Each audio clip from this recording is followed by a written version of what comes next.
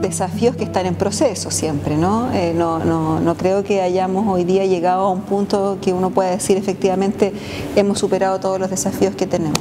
Sin embargo, eh, creo que una de las cosas más importantes tiene que ver con la capacidad de que varios actores hablen un lenguaje común, ¿sí? que se pongan de acuerdo respecto a decir esto es lo que nos interesa hacer, hacia allá queremos ir, eh, y junto con eso que puedan dejar, es un, arte bien difícil, pero dejar sus propias pretensiones institucionales y poner al centro las necesidades de los niños.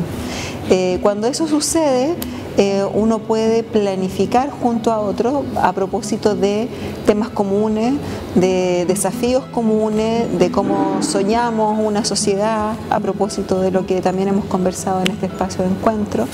Eh, los desafíos que aparecen por eso no lo planteo como pasado, está precisamente en que cada uno de los sectores públicos que forman parte de esta política pública eh, logre permanentemente em, desprenderse un poco de sus ¿cómo decirlo?, de sus eh, egoísmos en virtud de que hay cierta información que es solo de ellos eh, y que entiendan que el mismo niño del que hablamos nosotros es el mismo niño del que hablan ellos. Es decir, la integralidad de la política pública tiene que ver con que es un mismo sujeto, que es atendido, que es mirado, que es, eh, no sé, cobijado por distintos organismos públicos y ese sujeto no tiene por qué dividirse para que cada uno de los sectores cumplan sus objetivos. En el fondo la mirada es al revés, ¿no? En el fondo, ¿de qué manera la política pública se pone al servicio de las necesidades de los niños y de las niñas? Y eso es algo que se logró con Chile Crece Contigo.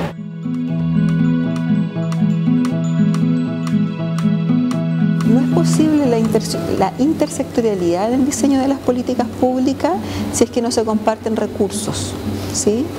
Eh, porque la intersectorialidad finalmente habla de una lógica colaborativa en el diseño, en la planificación y en la implementación.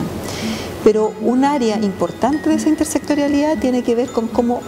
los distintos actores o ministerios o sectores involucrados en este caso comparten recursos que también son comunes, porque de lo contrario queda solo una declaración. ¿sí?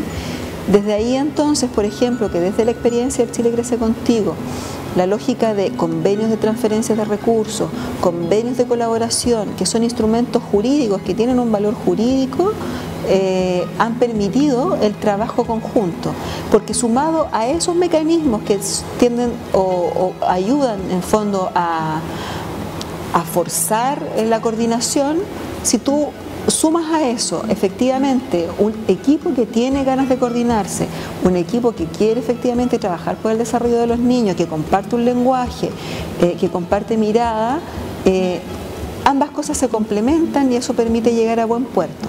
No, mm, a mi juicio no es posible, y un poco la experiencia de Chile crece contigo, no es posible la intersectorialidad si no existen mecanismos concretos para, para en el fondo dejar amarrada esa manera de vinculación, ya sea a través de convenios de transferencia de recursos o convenios de colaboración.